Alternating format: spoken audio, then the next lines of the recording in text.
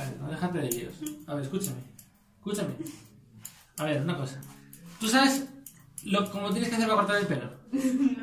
No.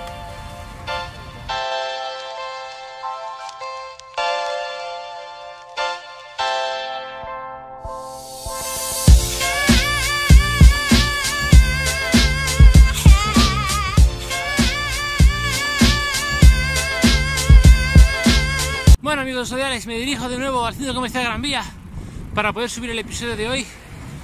Deducir vosotros entonces que seguimos en internet.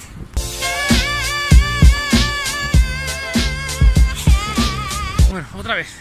Hemos vuelto al centro comercial Gran Vía y otra vez nos vamos con las manos vacías. No hemos conseguido conectarnos a la red wifi y es todo media hora larga. No ha habido manera. Y tengo que entregar las llaves a mi tío Héctor porque allí es bueno, un lío.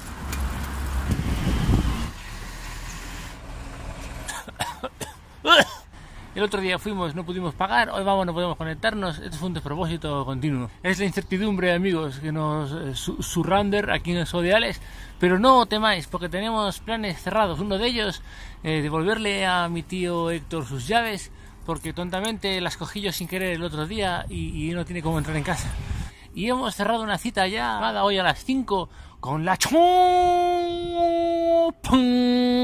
O sea que eso ya, la incertidumbre por lo menos es incertidumbre, pero ya tiene unos, una, una serie de rangos que, nos, eh, que ya la deja un poquito más eh, acotada. La teoría del caos, amigos, veréis, cuantos más factores, cuantas más variables apliques a cualquier tipo de plan, más cosas pueden salir mal y más incertidumbre se genera en el circuito. Es a medida que le vamos inyectando más variables al sistema, te vas acercando más y más hacia un pozo irreversible de incertidumbre. En este caso, yo tenía prácticamente decidido hoy dos planes. Uno era llevar a las llaves a mi tío Héctor. He conseguido, ya quedaron allí, solo que cuando llegué no había nadie, solo simplemente las dejé en la bandeja. Y también que teníamos una certeza absoluta en el día de hoy. La certeza absoluta era que, que habíamos quedado comprando a las 5. Perfecto, eso nos daba un eh, apoyo donde agarrarnos para no precipitarnos hacia un abismo de incertidumbre. Es que tú cómo es la vida. Como el otro día fuimos al Carrefour, bueno, fui yo al Carrefour y no pude pagar con el móvil porque no funcionaba la tarjeta. Cosa que curiosa, cosa que tampoco era culpa del centro comercial, sino más bien de mi móvil. Entonces me tuve que ir al día, luego al Gadis. Hoy decidí irme al Mercadona para no arriesgarme como el otro día. Y fui a Mercadona y entonces digo, en vez de hacer una compra pequeñita, ya que voy a Mercadona hago una compra grande, tal y como dije el otro día. Y digo, como vamos con las mochilas y las bicicletas, porque vino Celo a buscarme con la otra bicicleta, digo, vale, vamos con las mochilas. Claro, como vamos con las bicis, no la voy a traer yo la compra grande con las bicis, porque no nos entra. Entonces, que nos la traigan a casa. Y yo pregunté, ¿a qué hora la podéis llevar a casa? Me dijeron, entre las 3 y las 5. Digo, vale, pues fenómeno, me la traes a las eh, 5 menos 20, me da tiempo a irme a Junta Brandon, perfecto, para que con él a las 5. ¿Tengo que reservártela ahí o algo? No, no pasa nada, que luego te la doy. Perfecto.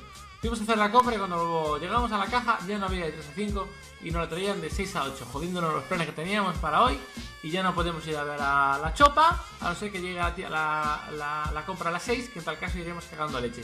Ese es el principio de incertidumbre, así que ya no podemos quedar comprando y si quedamos con él quedaremos más tarde. Así que se nos ha ocurrido venirnos a nuestro prado este gigantesco que tenemos aquí abajo a buscar plantas silvestres, entre ellas hierbabuena y menta, para nutrir nuestra vivienda de ellas. Y también recoger unas cuantas cañas de estas, porque voy a seguir confeccionando más eh, aparatajes para nuestra vivienda y uh, casa.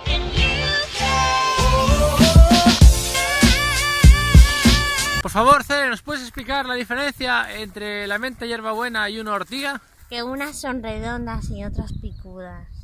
¿Y tú la sabes diferenciar así a simple vista? No, ¿Te va a picar una ortiga? la vas a coger tú.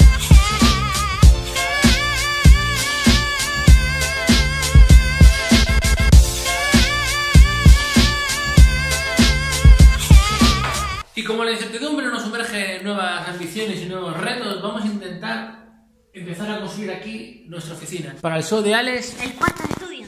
CSL Studios e IMC Films. Entonces, lo que voy a intentar ahora es poner este croma utilizando un martillo y unos cuelgas fáciles de plástico que no dejan casi ninguna marca en la pared.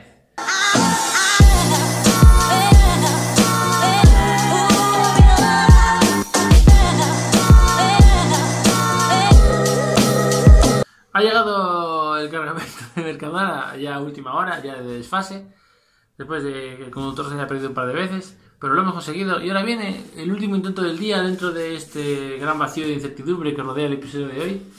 Cele insiste que me quiere cortar el pelo desde ya desde hace unos días y le he dicho, si me lo pides me lo corto. Y me ha dicho, córtatelo. Digo, córtamelo. Digo, vale. Y aquí estamos. Vale, no déjate de líos. A ver, escúchame. Escúchame. A ver, una cosa. ¿Tú sabes lo, cómo tienes que hacer para cortar el pelo? No. Vale. Lo, lo tienes claro, mira. Tienes que coger y tienes que cortar, pero no puedes coger. O sea, como que tú dejas Lo calvas. sé, ya lo sé. No Eso lo era sabes. obvio. No, ¿cómo lo vas a hacer? Coges un mechón. No, no, no, no se coge de mechones. Que yo sé cómo ir. Se coge ya por trozos, por ya capas. Lo sé, ya lo sé. No, ¿lo sabes? No. ¿Cómo lo vas a hacer? Sí. Amor. Como tú así. Me vas a destrozar Coges vivo. así y haces.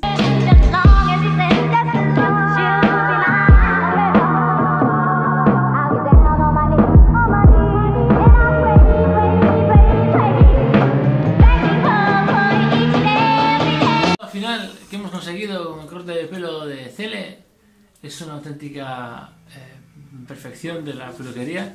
Es como una especie de Mierda. No, está perfecto. Es como una especie de circunstancia entre una, un corte de pelo y un estilismo, al más alto estilo francés. Eh, un corte de pelo de esas características en una peluquería te cuesta jo, 60 pavos.